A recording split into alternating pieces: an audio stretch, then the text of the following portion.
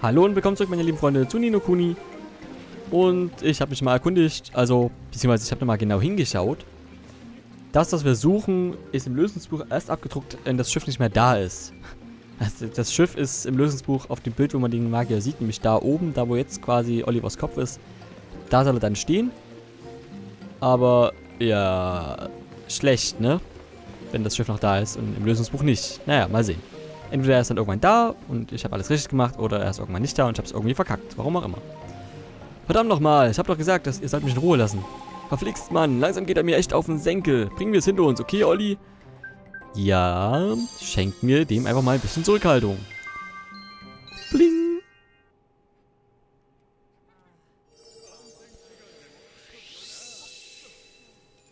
Und... Hm? Was hast du mit mir angestellt? Alter, ich mache jetzt voll Stress, Alter.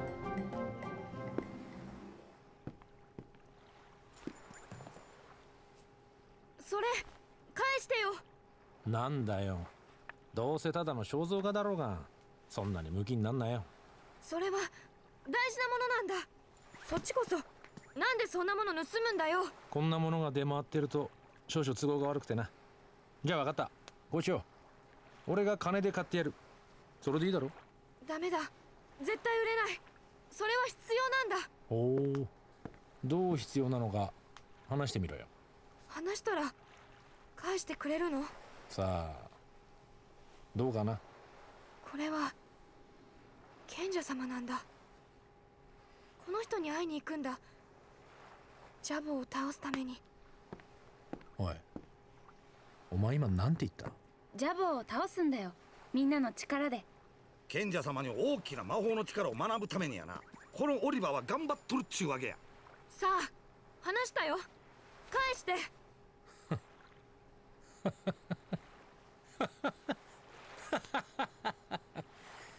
お前たちがジャボを倒す？でこのハンサム賢者様を本気で協力させようってのか？うん。絶対に協力してもらう。バカかお前はどこから来んだよ。その根拠のない自信はよ。今この世界にジャボーに歯向かおうってやつはいない。きっとあいつだって。え？あいや。とにかくそんなのは無理だよ。可能性あると思う。何？オリバーは私の父ソロンを目覚めさせてくれた。そして私も。ソロン？まさかあの大賢者のソロンか？ソロンは今や本気でジャボーと戦おうとしてるんやで。本当か？ソロンが？本当だよ。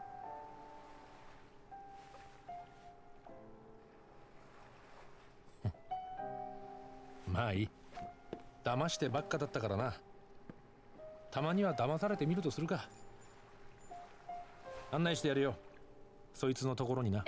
知ってるの？ああ。ちょっとな。すごいと。ジャイロだ。少年。よろしくな。少年じゃない。オリバーだ。おっと。そうだったな。じゃあよろしく頼むよ。オリバ私はマル。太陽星の雫や。じゃあいよいよ出航だね。オリバー。なんかワクワクするね。Oh, weil wir uns gerade vorstellen, komm raus, Junge. Das ist mein Vertrauter. Wow, du hast einen Vertrauten? Du hast ihn noch nicht gestohlen, oder? Nein, habe ich nicht. Vielen Dank auch. Er ist mein Vertrauter und zwar völlig legal. Und haut ganz schön rein, das kann ich dir sagen. Naja. Ich bin nicht so überzeugt von dem, aber okay, wenn er es sagt. Hm, irgendwas an diesem Sven gefällt mir nicht so richtig. Er verbirgt etwas. Aber, wird, äh, aber es wird bestimmt toll, einen weiteren Freund auf unserer Reise dabei zu haben. Vor allem mit irgendwas. Hab ich gerade weggeklickt. Sorry. ähm, hä? Ich bin nicht bloß eine Dumpfbacke mit einem Vertrauten, ja? Wie wär's, wenn ich euch zeige, was ich sonst noch so drauf habe, da ihr nicht viel von mir zu halten scheint? Aha, genau das, was wir brauchen. Diese Truhe ist perfekt. Oleo, beweg dich ein bisschen näher an die Truhe dort drüben heran, ja? Sag mir Bescheid, sobald du sie klar und deutlich sehen kannst. Jetzt. Ich zeige euch etwas, das euch beim Hocker hauen wird. Jetzt. Jetzt, jetzt, jetzt, jetzt. Naja. Muss halt möglichst nah ranlaufen. Ähm. Macht euch auf etwas gefasst, Kinder. Hehe, seht ihr. Auch wenn das niemals gesagt hat im Japanischen, aber naja. Gut, hör zu. Siehst du, wie weit ich von der Truhe weg bin? Ziemlich weit, nicht? Und du denkst bestimmt, ich komme nie im Leben, äh, dass ich sie nie im Leben erreichen kann, oder? Nun ja, da kommt meine Räuberpistole ins Spiel. Ich benutze einfach R, um das T auszuwählen und drücke dann X, um zu schießen. Ganz einfach, oder? Das Schöne an Schatztruhen ist, dass man sie nie wegrennen. Äh, dass sie nie wegrennen, ohne irgendwas dazwischen. Die sind, wie man in unserem Gewerbe sagt, wehrlose Opfer. Also dann, wird schon schief gehen. Kurz anvisieren, irgendwie so. Und wir haben einen Feuerschleuderstein. Yippie. Super. Nicht schlecht, was? Ich muss nicht am Schloss rumfummeln und mir die Hände schmutzig machen. Die wahren Profis nehmen ihre Beute aus sicherer Entfernung ins Visier und schnappen sie sich, indem sie einfach den Abzug drücken. Und was für Profis wären das? Ach, jetzt sei doch nicht so ein Tugendbold, ja? Äh, okay. Äh, er wird uns sicher ziemlich nützlich sein. Freunde, wir setzen mal die Segel. Alle an Bord. Jawohl, Herr Captain. Kommt schon, es geht los. Okay. ähm, ihr bleibt nicht lange an einem Ort, was? Na schön, auf geht's. Schick, endlich werde ich das Meer sehen.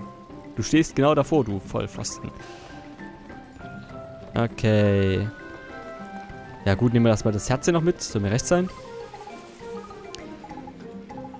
Bla bla bla bla bla bla bla bla bla. Zurückhaltung, bla bla bla bla bla bla bla bla. Mhm, aha. Ähm, wir wollen jetzt noch eine Truhe holen. Und zwar ist die, ja, ziemlich am Anfang des, des Dorfs. Der Stadt, je nachdem. Eher des Dorfs. Und zwar... Tülü, tülü. Weiter zurück, weiter zurück. Ähm... Muss erstmal überlegen. Äh... Muss man von hier anvisieren oder von hier? Die Truhe da. Genau. Äh, äh. Ein Blütenküchlein. Yippie, was für eine Mega-Belohnung. Okay. Mehr dürfte ja auch gar nicht zu tun sein. Äh, drei Aufträge. Das sind die drei, die wir noch offen haben. Und der Hauptauftrag, das ist ganz okay. Mein Mana ist aber, glaube ich, noch leer, ne? Jo, das füllen wir erstmal kurz auf. Geh doch mal aus dem Weg, du fettes Schwein.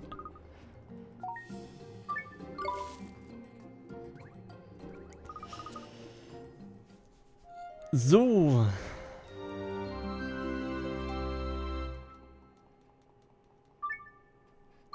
Ja, ja, Fortschritt speichern. Ähm.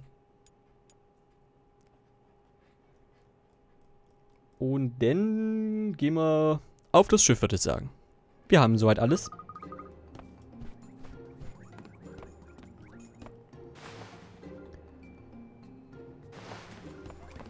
Tü, tü, tü.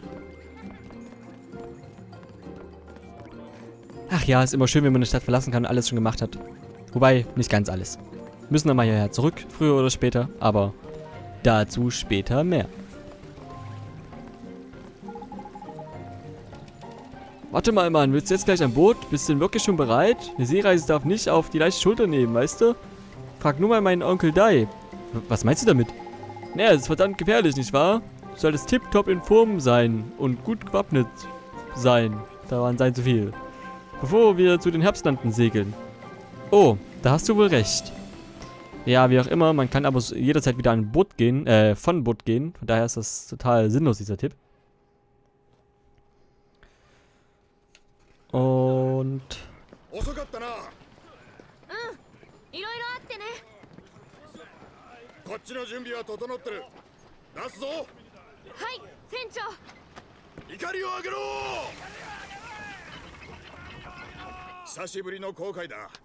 腕が鳴るぜ。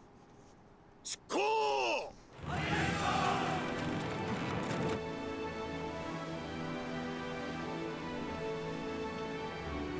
動いた。え惑すんな。めんどくさそうだな。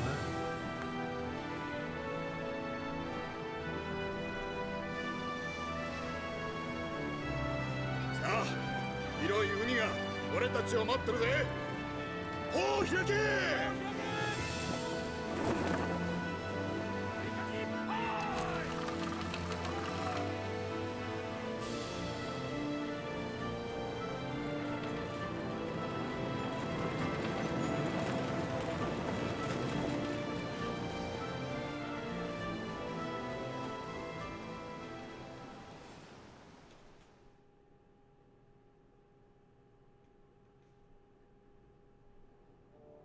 ジャボー殿。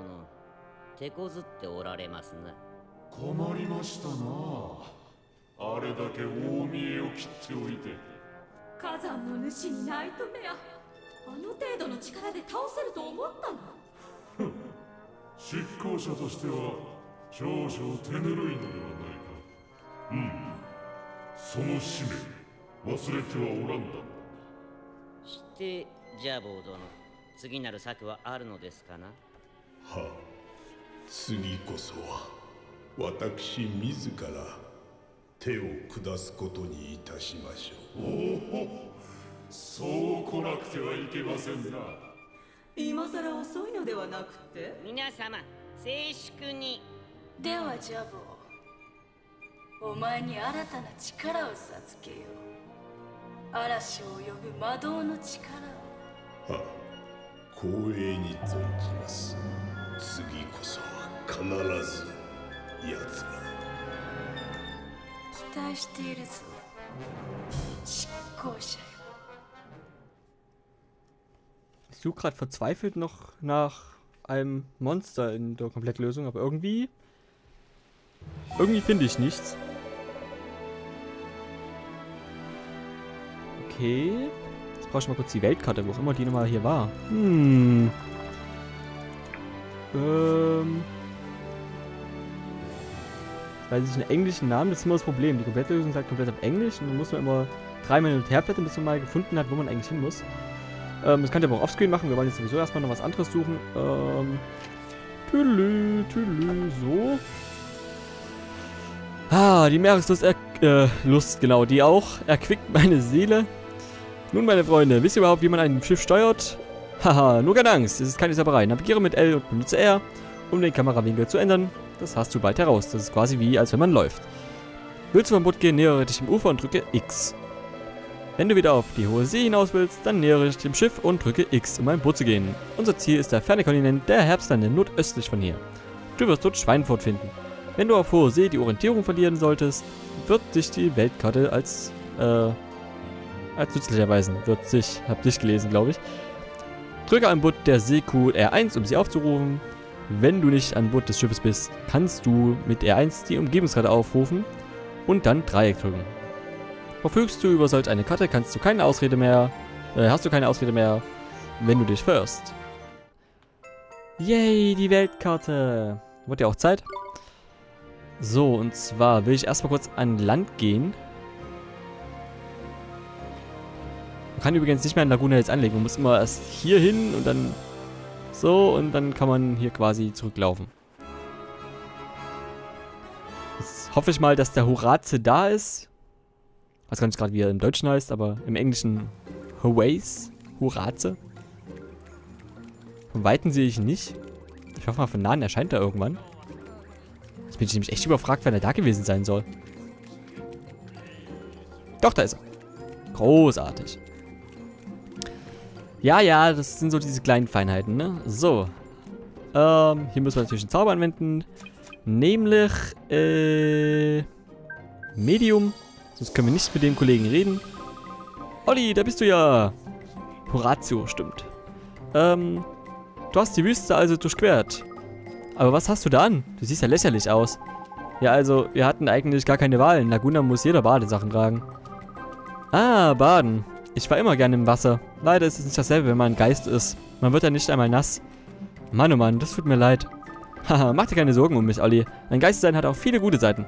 Hm, kommt mir das nur so vor oder hast du die Prüfung abgelegt? Hä? Abgelegt? Er hat sie nicht abgelegt, Kurze. Er hat sie bestanden. Und zwar mit Bravour verflixt noch eins. Ach wirklich? Das ist ja toll. Hurra! Und sobald sie ihn auch den Zeitlosen nennen, können wir uns wieder unterhalten. So höflich wie eh und je, du oller Angeber. Wie dem auch sei, du scheinst auf dem besten Wege zu sein, ein Weiser zu werden, Olli. Du studierst sicher fleißig Nazca, nehme ich an. Das ist übrigens die, die Sprache, also die, die Schriftart hier in dem Spiel. Äh, Nas was? er hat Nazca gesagt. Das ist eine Sprache, die die Menschen vor langer Zeit gesprochen haben. In deinem magischen Begleiter findest du ein paar Beispiele. Na sowas, du bist ja gar nicht so dumm, wie du aussiehst, Knirps. Ja, der allererste magische Begleiter war vollständig in Nazca-Schrift verfasst. Und auch in modernen Ausgaben wie deiner sind noch ein paar pro Stück enthalten. Deshalb verfügt jedes Exemplar über eine Erklärung des Nazca-Alphabets. Wow, das ist echt dufte. Ich freue mich, dass du das so siehst, Olli. Denn ich habe ein besonderes Rätsel für dich vorbereitet. Eines, das dein Nazca-Verständnis auf die Probe stellt. Öffne jetzt den magischen Begleiter und schlag die Seite mit dem Titel Das Handwerkszeug der Zauberzunft auf. Wenn du genau hinsiehst... Das Schiff rechts war jetzt ein bisschen fail, finde ich. Na gut. Äh, wirst du dort ein paar Symbole der uralten Nazca-Schrift entdecken.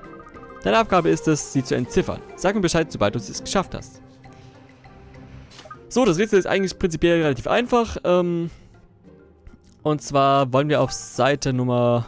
Nee, nicht hier. Buchanfang, Seite Nummer 13 gehen. Das ist die hier. Dann muss man nicht das übersetzen, was der sagt. Also nicht das da, was man meinen könnte, sondern der will das hier wissen.